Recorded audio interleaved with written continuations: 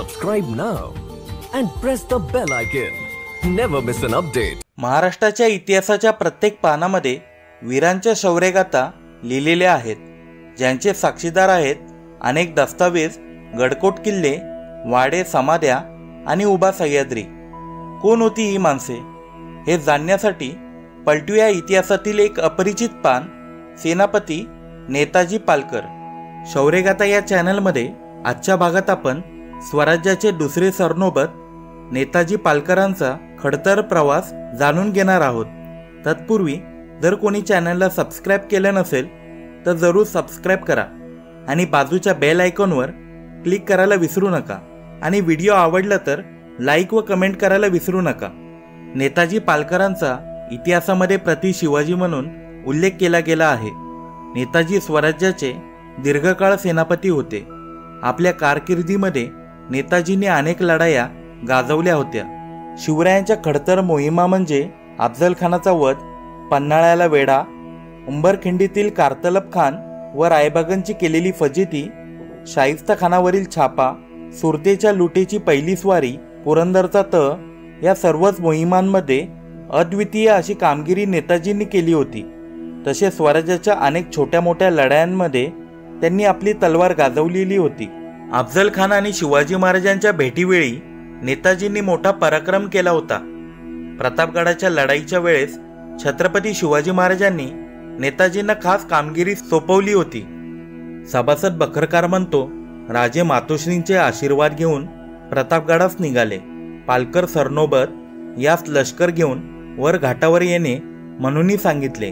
आम्ही अफजल खानास जावळीस बोलवतो. सल्ला करून भेटतो. विश्वास लावून जवळ आणितो ते. समयी तुम्ही घाटमाता येऊन मार्ग धरणे असे सांगितले. खानाचा वध झाल्यानंतर राजे गडावरी जाताच तोफेंच्या गोळ्यांचा आवाज केला. तेव्हा गडाखालील मावळे घाटावरील मावळे व कोकणातून मोरपंत आणि मावळे असे चहूबाजूनी खानाच्या सैन्यावर हल्ला चढवला. मोठे युद्ध झाले. रणकन्नन माजले. प्रतापगडाच्या या युद्धात सरनोमत नेताजी पालकरांनी मोठा पराक्रम गाजवला. पुढे मिर्झा राजेंबरोबर झालेल्या पुरंदरच्या तहानंतर छत्रपती शिवाजी महाराज मिर्झा राजे जयसिंग नेताजी पालकर आणि दिलेर खान हे विजापूरवर चालून गेले. पण आदिलशाही सेनापती सरजा खान याच्यासमोर या चौघांचेही अपयश आले. पराभवाचा सामना करावा लागला. त्यामुळे विजापूरकरांचा पन्हाळा जिंकण्यासाठी राजे विजापूरहून पन्हाळ्यास आले. शिवाजी महाराजांनी रात्रीच गडावर छापा टाकला. आदिलशाही किल्लेदार बेसावध असेल अशी महाराजांची खात्री होती पण किल्लेदार सावध होता. त्यात नेताजी पालकर वेळेवर महाराजांच्या मदतीस पोचू शकले नाहीत. महाराजांना मदत पोचवू शकली नाही आणि शिवाजी महाराजांचा पराभव झाला. या प्रसंगी सभासद बखरकार म्हणतो मग राजेंनी नेताजी पालकर यास बोलवून आणला आणि समयास कैसा पावला नाहीस? म्हणून शब्द लावून सरनोबतीवरून दूर केले. मग नेताजी विजापूरकरांना जाऊन मिळाले. महाराज आग्राबेटीस गेल्यानंतर मिर्झा राजेंनी नेताजी पालकरांना विजापूरकडून मुघलांकडे वळवले आणि मुघलांकडून पाच हजारी मनसबदारी आणि नांदेड जिल्ह्यातील तांसा या परगण्यातील पंचावन्न गावांची जहागिरी दिली. नेताजी पालकर मोगलांच्या सेवेत गेले. त्याचवेळी शिवाजी महाराज औरंगजेबाच्या कैदेतून निसटले. त्यामुळे नेताजी पालकर पुन्हा शिवरायांना जाऊन मिळाले तर? औरंगजेबाला याची धास्ती होती. शिवाजीराजे सुटले. आता प्रति शिवाजी सुटू नये या विचाराने औरंगजेबाने नेताजी पालकरांच्या अटकेचे फरमान काढले. त्यानुसार मिर्झाराजे जयसिंग यांनी नेताजी आणि त्यांचे चुलते कोंडाजी यांना अटक केले. दिलेर खानाने त्यांना आग्र्यास पाठवले. आग्र्यात त्यांचा अतोनात छळ करण्यात आला. त्यामुळे दिनांक सत्तावीस मार्च सोळाशे सदुसष्ट रोजी नेताजींना जबरदस्तीने मुसलमान करण्यात आले आणि त्यांचे मोहम्मद कुली खान असे नामकरण करण्यात आले. औरंगजेबाच्या हुकुमाप्रमाणे जून सोळाशे सदुसष्ट रोजी नेताजी काबूल कंदारच्या मोहिमेवर रवाना झाले. लाहोरजवळ आल्यावर त्यांनी पळून जाण्याचा प्रयत्न देखील केला पण त्यांना अपयश आले. पुढे नऊ वर्ष नेताजी काबूल कंदारच्या मोहिमेवर होते. आग्र्यावरून सुटका झाल्यावर शिवाजी महाराजांनी एकामागून एक किल्ला घेण्याचा सपाटा लावला होता. शिवाजी महाराजांसमोर सर्व मोगल सरदार अपयशी पडत होते. अशा वेळी औरंगजेबास प्रति शिवाजीची आठवण झाली आणि त्याने दिलेर खानाबरोबर मोहम्मद कुली खान म्हणजेच नेताजीस महाराष्ट्राच्या मोहिमेवर पाठवले.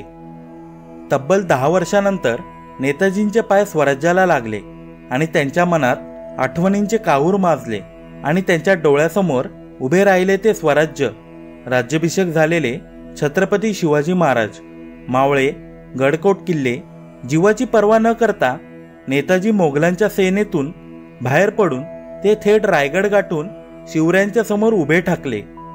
तब्बल नऊ वर्षांनी हा बाटलेला मुसलमान झालेला नेताजी पालकर शिवाजी महाराजांसमोर उभा ठाकला. दहा वर्षानंतर स्वराज्य खूप बदललेले होते. शिवाजी महाराजांचा राज्याभिषेक झाला होता. स्वराज्याची राजधानी राजगडहून रायगडावर आणली होती. स्वराज्याचा विस्तार आता वाढला होता. पुरंदरच्या तहात हारल्यामुळे नेताजींना आदिलशाहीत पाठवणे हा शिवरायांचा कदाचित गनिमी कावा असू शकतो. त्यामुळेच महाराजांनी नेताजींना ममतेने आपलेसे म्हटले. महाराजांनी विलक्षण क्रांतिकारी पाऊल टाकले.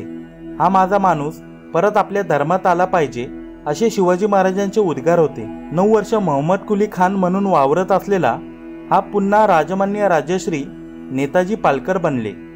जेदे शकावलीनुसार शके पंधराशे अठ्ठ्याण्णव नळ संवत्सर आषाढ वद्य चतुर्दशी म्हणजेच अकरा जून सोळाशे शहात्तर रोजी नेताजी पालकर यांनी प्रायश्चित्त घेतले आणि ते शुद्ध झाले. विधीपूर्वक नेताजी पुन्हा हिंदू धर्मात आले. त्यांचा पुनर्जन्म झाला. आणि त्यांनी पुन्हा स्वराज्यासाठी तलवार हाती धरली. नेताजी पालकरांची समाधी नांदेड जिल्ह्यातील हदगाव तालुक्यातील तानसा या ठिकाणी आहे. नेताजींनी आयुष्याचे शेवटचे काही दिवस तानसा या गावी घालवले होते. येथेच या मराठा वीराने आपला प्राण सोडला. छत्रपती शिवाजी महाराज व नेताजी पालकर नातलग आहेत असे उल्लेख आपल्याला मोगली अकबरातून मिळतात. महाराजांची पत्नी पुतळाबाई राणीसाहेब यांचे माहेर पालकर घराण्यातील आहे. महाराजांची एक राजकन्या कमळाबाई हिचे लग्न जानकोजी पालकरांशी झाले होते. स्वराज्याच्या सुरुवातीच्या काळात शिवाजी महाराजांच्या खांद्याला खांदा लावून लढणाऱ्या महाराष्ट्रभर चौफेर घोडे फिरवून मुघलांचा आणि विजापूरकरांचा पराभव करणाऱ्या या वीर सरनोबतांना मानाचा मुजरा. छत्रपती शिवबाचे चरण स्पर्शुनी जगदंबा मातेची शपथ घेऊनी. छत्रपती शिवबाचे चरण स्पर्शुनी जगदंबा माते